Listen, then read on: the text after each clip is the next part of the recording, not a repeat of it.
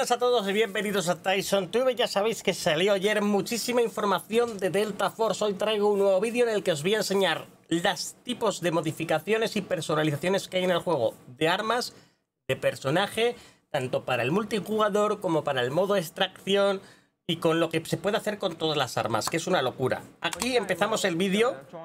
Fíjense aquí, también tienen un sistema de amigos muy parecido al que había en Battlefield, ¿vale? Eh, te añades, se ves la foto y tal, y te vas al grupo. Fijaros, esto es una escopeta, ¿vale? Y fijaros lo que van a hacer con la escopeta, ¿vale? Cómo empieza y cómo acaba.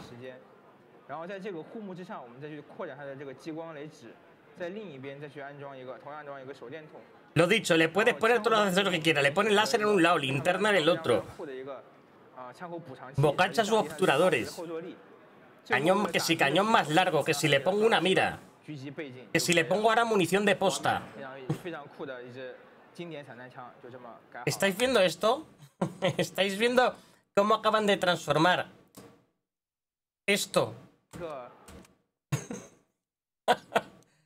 Eso en esta en esa pedazo de escopeta que habéis visto y, y, las, y las demás locuras que hacen, ¿vale? O sea, es que es una locura, lo dicho. Hay tanto que enseñar que no os lo creeríais, ¿vale? Así han estado enseñando con gente en el evento cómo prueban y pueden modificar un arma. Partes de arma, accesorios, una, una QVZ. La van modificando y le van poniendo cosas con todos los accesorios. Quiero que fijéis esto, ¿vale? El tipo dice, le quiero poner tres láseres, ¿vale? Y el tipo dice, pues le pongo uno, dos y tres láseres, ¿vale? Un láser de este tipo y de otros dos láseres, cada uno de un color, ¿vale? Y dicen, sí, sí, puedes ponerlo. Si el riel que lleva el arma lo admite, y eso es en la vida real, yo tengo aquí armas, no voy a traer una aquí hasta ahora porque pesa y porque no quiero descolgarla a la pared, pero tiene, si tu arma, según el riel que le ponga, tiene tres tres carriles, por así decir, puedes meterte accesorios. Y los hay que tienen hasta cuatro por debajo también, ¿vale? Y luego puedes, podrías ponerle literalmente tres, tres láseres a un arma y, por ejemplo, estos son más rieles, que se pueden quitar. Esto se quita, esto es una funda que hay aquí, que se quita en la vida real del arma y te deja más espacio para montar otro riel. Lo dicho, yo también lo tengo ahí, lo podría enseñar en la vida real. Y ahora le mete un bípode, por ejemplo, y, debajo del bípode puede meter una empuñadura también. Y se está haciendo un arma para campear a lo bestia el tipo, el chaval. Y hasta aquí estos están los desarrolladores ¿vale? Viendo en el evento lo que puede hacer la gente y no con su juego, con la arma. Fijaros los accesorios que lleva. 1, 2, 3, 4, 5, 6, 7, 8, 9, 10, 11, 12 accesorios ahora mismo. Y le falta por poner otros 3 que podría poner. En función del arma, mira. Lo dicho. Le mete ahora un cargador de tambor. Le falta la culata. Lo va a dejar así sin poner culata, ¿vale? Y alguno creerá esto no puede ser verdad, ¿vale? Que esto no puede ser verdad. Y no sé exactamente en qué momento lo he grabado yo, ¿vale? Que el tipo lo coge y lo prueba, ¿vale? Y se mete en una partida y, lo prueba. Lo tengo por ahí grabado, en serio, os lo juro. O sea, tío se mete a probarlo, a probar el cacharro. Y es flipante lo que hace, ¿vale? Pero así con la personalización de cualquier arma del juego. Todas las armas en función de los accesorios que les vayas a poner tienen una cosa o tienen otra, ¿vale? He ido sacando highlights y demás. Y los personajes igual. Cascos, accesorios, mochilas, chalecos, porta, chale, portacargadores. Por ejemplo, una Vector. Y la van transformando, ¿vale? Y cada uno se la puede poner los accesorios que quiera. Y lo dicho, así con múltiples armas del juego, ¿vale? Culatas, y todo con moneda que consigues jugando o jugando también en extracciones, trayendo armas que consigues de los muertos o de otros jugadores que las vendes, te dan créditos y con esos créditos desbloqueas otras armas, otros accesorios y demás. Algunos son universales o no. Y luego los puedes que si ajustar, dando los botones de ajuste y mover la empuñadura más adelante, más hacia detrás. El sistema es increíble de, en cuanto a accesorios y demás. Por ejemplo, aquí nos enseñan algunos modelos de, chalecos. El tipo que está eligiendo y va a elegir a pues, saber qué chaleco se quiere poner, ¿vale?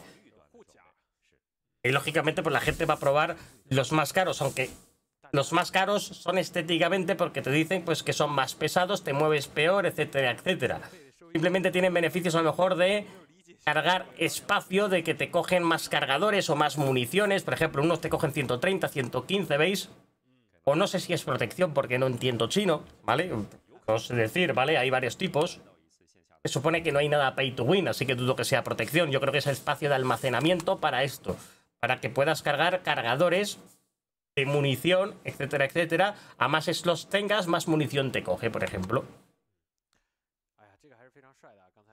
Y, así van con múltiples armas, cada uno pues se va poniendo lo que quiere y demás.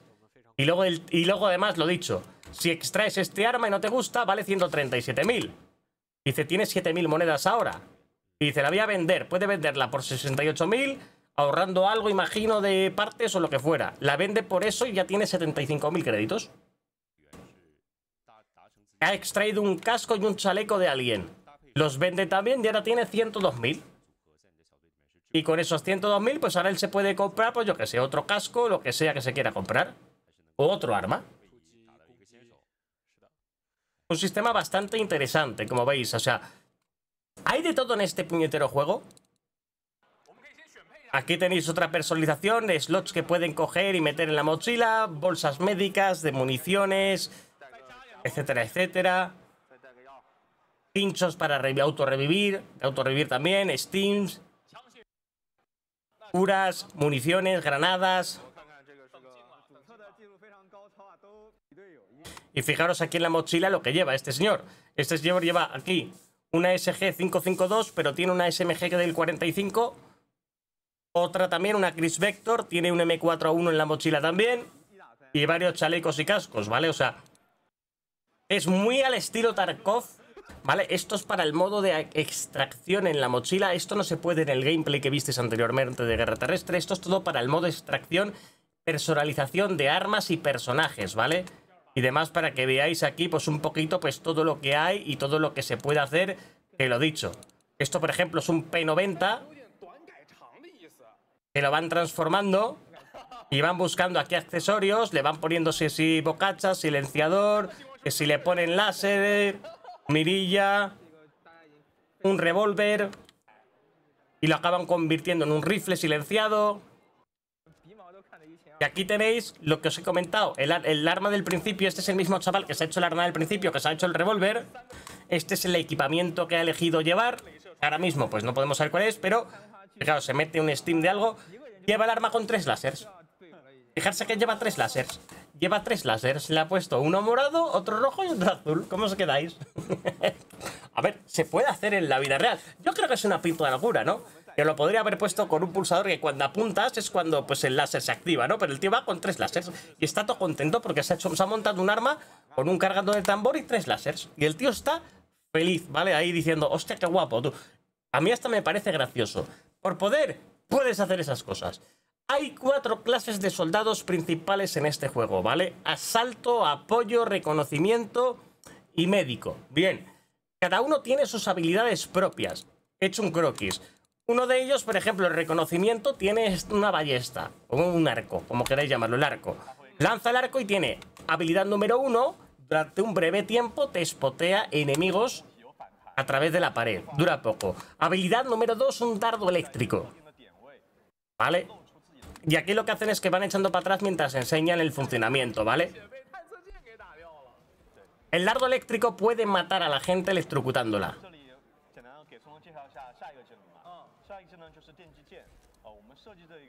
Y luego te comenta, pues, por ejemplo, que hay algunos que son efectivos para tirar ahí, incluso que puedes hacer que rebote para que caigan otros sitios y así saber si hay enemigos, etcétera, etcétera.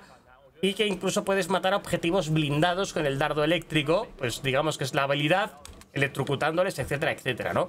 Esta es una de las habilidades que tiene, por ejemplo, el reconocimiento.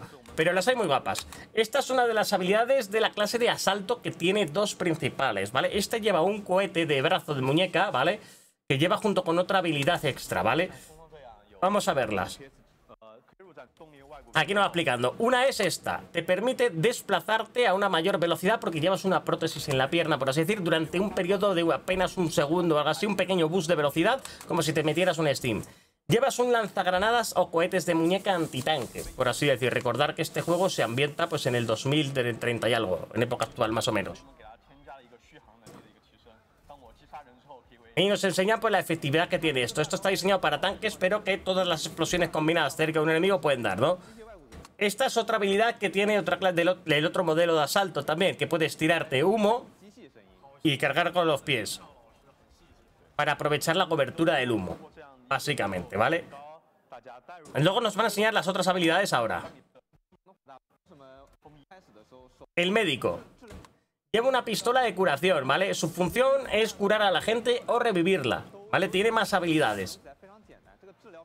A un compañero te sale con esa pistola marcada en plan, cúrale, y le puedes curar. Y a él, el compañero le sale esta crucecita y te están curando para que sepas que un médico te está curando. Luego tiene la habilidad de los drones de humo. Sirven para lanzar una cortina de humo para cubrirte de los disparos enemigos o poder avanzar. Granadas de humo normales y con la pistola pues te marca los aliados. Básicamente. Y luego hay otra acción que parece una nube verde que no sé si es con las granadas estas o algo que es con una especie de... O de curación de zona o algo así como los botiquines que curan en área o algo parecido. Eso no me ha quedado muy claro. El apoyo. El apoyo tiene atención. Esta mina que se activa a distancia que tiene el funcionamiento como una mina de contención de Warzone o de Call of Duty. Lanza una onda de contención que aturde y te hace daño al mismo tiempo, daño sonoro que te puede provocar la muerte, ¿vale? Aquí nos enseñan y nos hacen demostraciones del funcionamiento, aunque puedes salir del área y demás. También tiene un mini dron que se activa y empieza a lanzar ese pulso de ondas para afectar a los enemigos a una distancia un poquito larga. Esto se puede utilizar en el modo de extracción y también en el modo de, guerra de total, de destrucción total, ¿eh? En los dos modos, menos en la campaña original de mitad de 1923. El ingeniero, además, el apoyo, lleva la antorcha de ingeniero. También se encarga de reparar vehículos. Antorcha que se puede utilizar para cortar verjas. De hecho, aquí lo voy a volver a pasar para que se pueda volver a ver. Lo que hacen es cortar con la antorcha la verja, le da una patada y ala has abierto un nuevo camino. ¿Vale? O sea, y por ejemplo, en medio de un combate lanzas el dron ese para aturdir con la mina esa y ralentizas a los enemigos. Los ralentiza igual que una mina de contención de, de Warzone y aparte les hace daño. Y aquí tenéis las clases, que son dos de asalto, el médico, el apoyo o ingeniero y el reconocimiento. Y estas son las clases de soldados que hay en Delta Force disponible para todas las plataformas. Además de todo esto están los vehículos. Pero bueno, ya llevo 12 minutos de vídeo y demás. Hay otras habilidades que tienen estos personajes. Por ejemplo, la otro modelo de asalto lleva... Es para atacar, ¿vale? El otro modelo de asalto, en vez de llevar el cohete de muñeca, lo que lleva es un ataque de área con un lanzagranadas, la habilidad de salto, que digamos que es una pequeña propulsión trasera en la mochila, por así decir, para pegar un salto más largos, cargas de C4 explosivo y demás. El lanzagranadas pues se tira al suelo y explota retardado y provoca una gran explosión que mata. Y esta habilidad que es un impulso de salto para poder llegar a saltar una zona más lejana, ¿vale? Que así es como nos lo enseñan y nos hacen la demostración de cómo funciona. Incluso, pues en este caso aquí, salta un breve acantilado, un breve trocito. Ahí, pum, se pega un boost y llega al otro lado, ¿vale? Y la carga de C4, esto es una carga de C4, se lanza al, tanque, ¿vale? Y lo que hace es que en el momento en que la detona, porque ahora quise poner a hablar un poquito y me puse a buscar a ver en qué momento aquí lo detona, una carga de C4 pues le hace un gran daño, una carga de este C4 especial o explosivo semejante, le hace gran daño a los tanques. Y hasta aquí todas las habilidades de los personajes jugables que va a tener el juego, las clases, digamos, de soldado y demás. Hay más que enseñar. Gameplay del modo de extracción. Se puede ver más gameplay también del modo que han sacado de, guerra de destrucción. Lo he dicho, son muchas horas. Los tipos de vehículos que hay. Hay mucho más. En el próximo vídeo, más información de Delta Force.